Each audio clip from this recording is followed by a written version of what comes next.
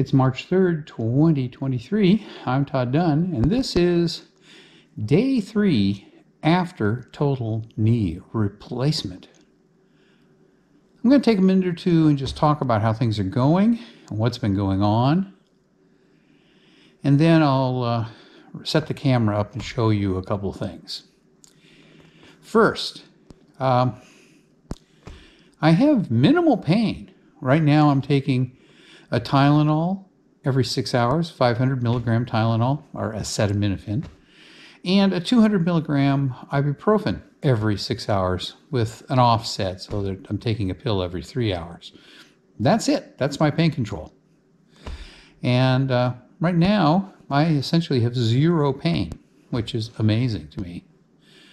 Uh, either the nerve block they put in is doing overtime or uh, uh, I have an incredibly high pain tolerance, or I actually have no pain really, that the over the counter drugs are taking care of it. And uh, it seems like that's what it is because it felt like the nerve block wore off on uh, day two, the day I came home, because that evening was pretty unpleasant after I got up the spiral staircase and into bed, uh, it was not a pleasant time, but I did manage to sleep most of the night.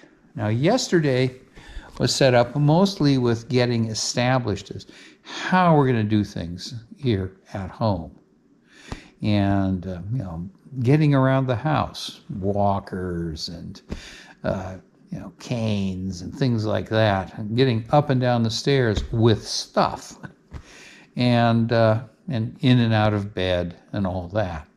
So uh, that took a little time, and I didn't shoot any video yesterday because I was just too caught up in details. The biggest issue that we had uh, yesterday was my chair that I'm sitting in right now. Now, this is a typical recliner, and I've got it tilted up pretty high right now so that my leg is more or less level with my heart so that I am not going to just have blood draining down into my leg and causing swelling. Now, yesterday I had the chair set at more or less its normal height, which is quite a bit lower, with the feet quite a bit lower, and I was getting a lot of swelling uh, while I was just sitting here. And uh, that's not good. That made it much more difficult to do the exercises that I have to do. And, uh, you know, so I ended up going upstairs, lying down flat on my back with my foot elevated a little bit uh, so that the swelling would go down and icing a lot. So that's basically what I did yesterday but I did manage to get in four rounds of the exercises I'm supposed to be doing. Now, there have been a couple things that have popped up, and I'll show you those when we move on to the second part of this video, just to show you what's going on. Now, today started out with a call uh, from the hospital to check in on me, make sure I'm still alive, and how things are going. And they asked a lot of questions, and we talked about a lot of things. So everything is, you know, working pretty well in that respect. Then after that, my visiting physical therapist showed up for the first visit. So today was mostly a paperwork visit. The physical therapist did uh, measure uh, how straight I could get my leg and the amount of bend. But the bend measurement was done with me sitting on a very low sofa. And because of the length of my calf, I, I really couldn't bend my leg very much uh, simply because I was sitting too low. So we only got to a little over 70 degrees of bend, which is not that good. But I know I can go farther than that because I've been going farther than that in the exercises. What was more important was how much I could straighten the leg. Initially, with just my leg held out in front of me, uh, the therapist measured two degrees of deviation from perfectly straight. And he said, Oh, that's really good. I said, Well, I can do better than that. And I promptly pulled up on my toe and pushed down with my knee and straightened my leg out perfectly to zero degrees. So uh, right now I'm getting all the uh, extension that I want in my leg. And I know that I'm getting to at least 90 degrees of bend because I have accomplished that uh, where I do my exercises, which is upstairs, where I have a much higher platform to sit on, and I can swing my leg further back. So, anyway, that went fairly quickly. Uh, mostly a lot of paperwork, a lot of questions, a look at the house to see what the different rooms, the bathrooms, etc., looked like and how difficult it was going to be for me to get around. Uh, largely for bureaucratic reasons. Now, next week, we're going to start the actual physical therapy visits where I will be doing supervised exercises. Now, they did leave me with a list of exercises to do. They are, with one exception, exercises I'm already doing that aren't a problem. So uh, I just have to work on this other exercise and see how it comes out. So, anyway, that's where that is. So what I'm going to do is we're going to go upstairs and uh, I'll set the camera up and show you some of the details of my mobility right now and just one or two of the relatively simple exercises that I'm doing. Now, uh, so that I don't scare anybody away, uh, I am just wearing a bathrobe and a shirt under the bathrobe, no trousers. but uh, you're, and that's so that the physical therapist could see my leg. And so that's what you're going to see is my leg. I'll push the bathrobe out of the way so you can see where my leg is. And we'll have a look at it and see what it looks like today on day three after surgery. So let's go up and I'll show you what's going on. Here we go. I'm sitting on the edge of my bed, which I raised up about five and a half inches to make it easier to get in and out of. Here's a walker, which uh, we use for uh, mobility, but uh, I did have to make a change with the walker here, and I'll show you what that change is right now. I use it over here to hang things from because I can get up and walk around without any trouble. As you can see, I can walk around and that's easy. So uh, basically what we're gonna, what I'm doing is I'm not using the walkers anymore. I, I use them for, you know, a couple of hours on the first day and then I quit. I discovered that I can walk just fine and I can get on and off the bed without any trouble. Getting into bed is pretty easy. I sit down. This is the operative knee here on the right side. See it's all wrapped up. Right now it has an ice pack on it. And to get into bed, I just rotate like that and I'm in bed. And to get out, I reverse it and stand up.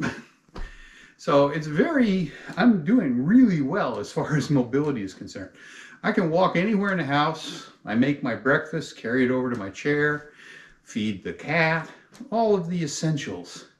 And uh, things are working out really well. So um, the main thing, though, for the next few weeks is going to be physical therapy and exercises to rebuild strength in my knee and get my range of motion improved. So I'm going to demonstrate a couple of those uh, that I'm doing, and I'm doing these exercises four to six times a day now, and I'll just show you what they're like. Now, right now, the bulk of the exercises are done lying down on the bed. So I'm going to lie down and demonstrate a couple of them. And these exercises at this stage are really very simple. Unfortunately, the sun is right in my face. The first one that I do multiple times during the day, here or sitting, any place I happen to be, is called an ankle pump. And that's just, if you look down at my foot, that is an ankle pump. And the purpose of this is it does strengthen your calf muscles a little and it also gets blood moving to cut down on swelling. So, you know, I'll normally do, oh, 25 to 30 of these in a session. I'm not doing a full session here, so I'm not going to continue with that. The next exercise that I do is a pretty straightforward one, and that's a knee extension exercise to get my knee completely straight. And I, what I do is I pull my toes up and I push down with my knee. One, two, three, four, five, and release. And repeat. One, two, three, four, five. And I do 10 repetitions. So that's a very easy exercise. The next exercise that I'm doing now is, see if I can do this without getting too exposed, is a leg lift. Notice I've got my leg up here. I'm just going to do a straight leg lift with my toes pulled toward me. And just up, one, two, three, four, five, and down. Up, one, two, three, four, five, and down. And I do 10 repetitions of that. That's a pretty easy exercise. It does put some stress on the knee, and that does hurt just the tiniest bit. Now the next exercise I do is another very simple one, and that's a side extension where I take my leg, move it off to the side, and bring it back. Move it off to the side, bring it back.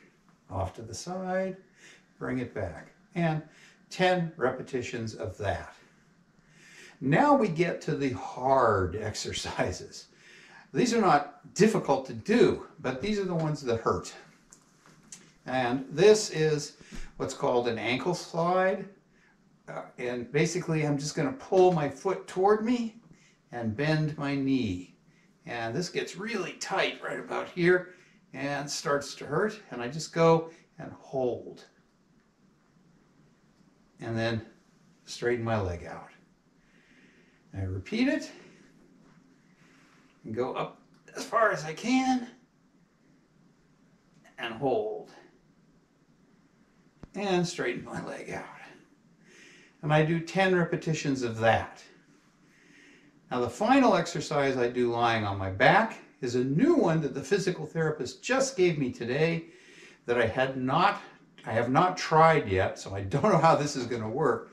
And this one, I pull my feet up like that, and I'm just going to lift myself off the bed a little.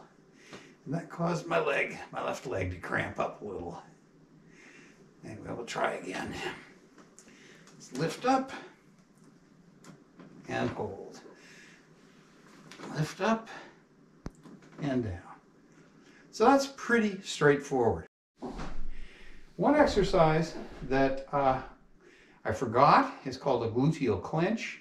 Basically, you pull your toes up and clench your gluteal muscles, your butt, and hold it and release, and do 10 reps of that. So those are the main exercises that I do lying down on the bed. And there's one other exercise that I'm doing, which I'll show you right now.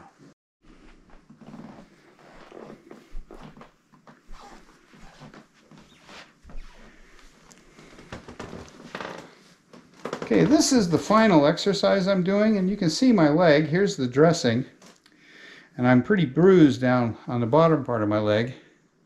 This exercise is pretty simple. Let me tilt the camera down a little more so you can see it better. Uh, basically, what I'm going to do is bend my knee as far as I can.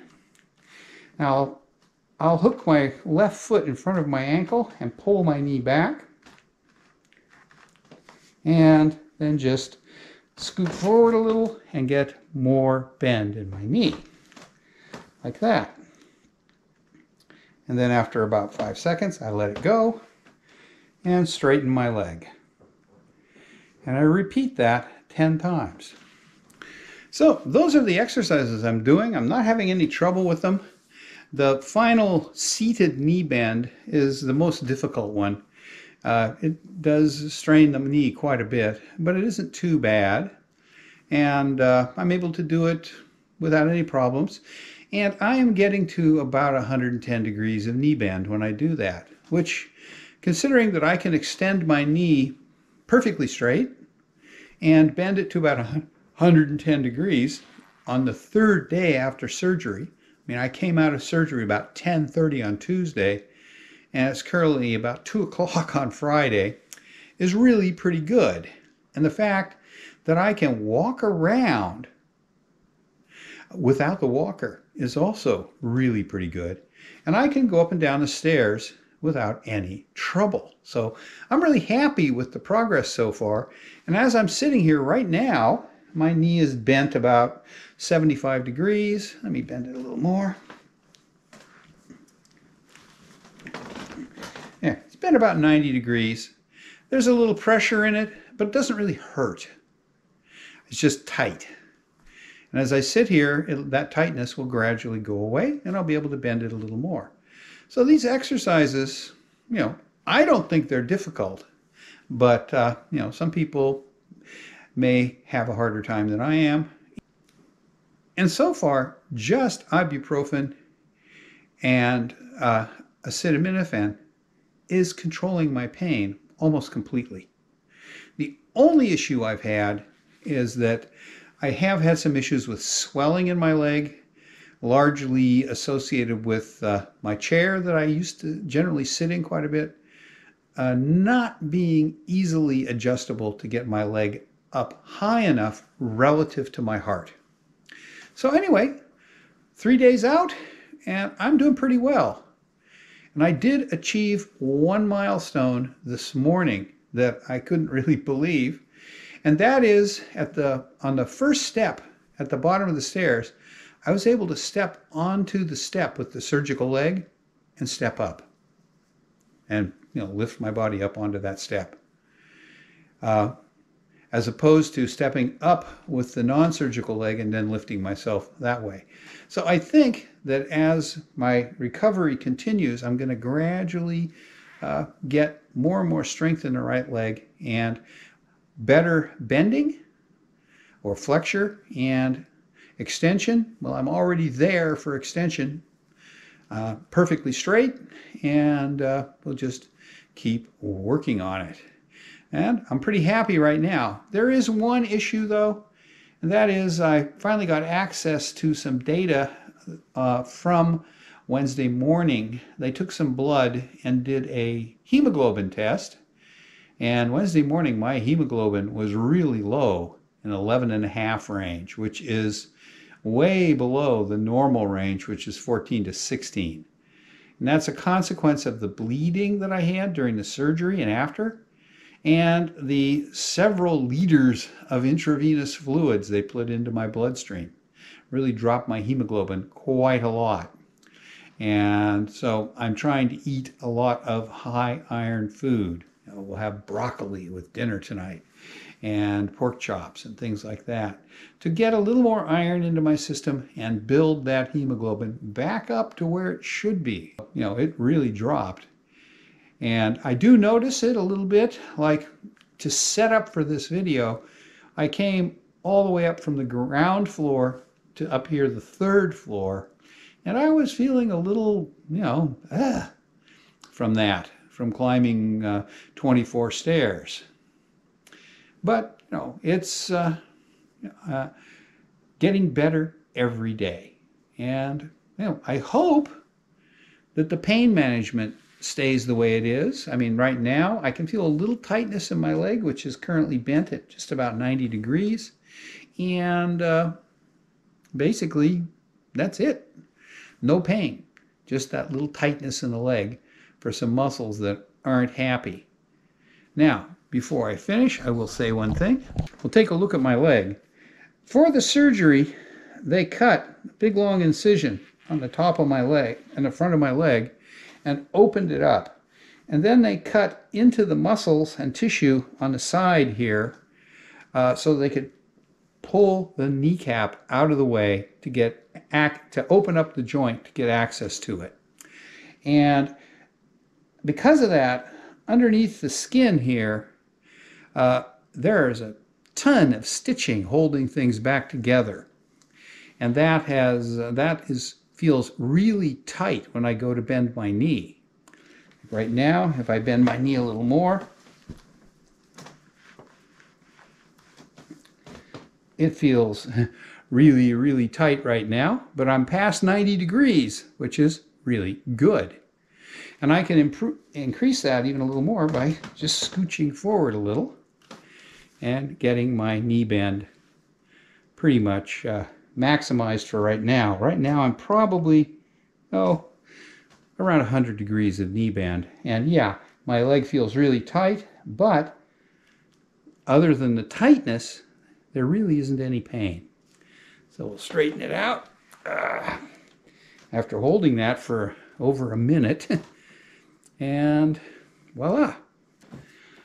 So that's where I am on day three, post total knee replacement in my right knee. Everything is working pretty well. I'm able to walk around the house. Now, I don't think I want to go outside and go for a half mile walk, but I can walk around the house, not completely normally, but without the walker, without a cane, or anything like that, which is a huge boost to my mobility and everything, and a great relief to my wife, who doesn't have to keep bringing me things all the time. When I say, Oh, honey, I forgot such and such, could you bring it to me? Now, there's still a little bit of that, but much less than there would be if I was dependent on a walker or, or something like that to get around the house, where I couldn't really carry anything when I was using a walker. Okay, that's where I am today, three days post surgery. Thanks for watching. If you found it interesting, please give me a thumbs up, and I hope that my recovery continues at the same pace that it's been going at for the last three days.